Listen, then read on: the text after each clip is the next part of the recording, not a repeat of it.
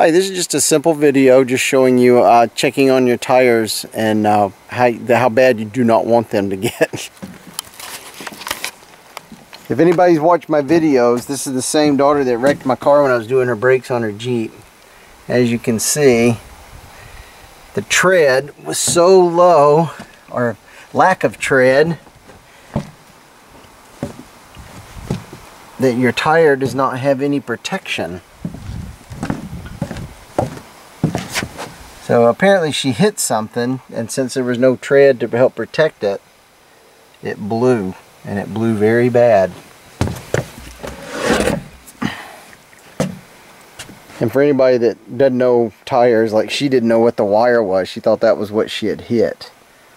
But you can see here that it had wore through where the wire was coming out of the tire before she hit something.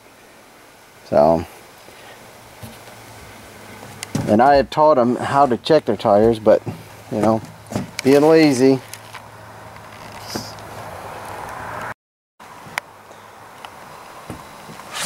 Okay, so in closing, I just want to say, you know, please make sure you tell your kids and wives and husbands and anybody else, please check your tires and keep an eye on them.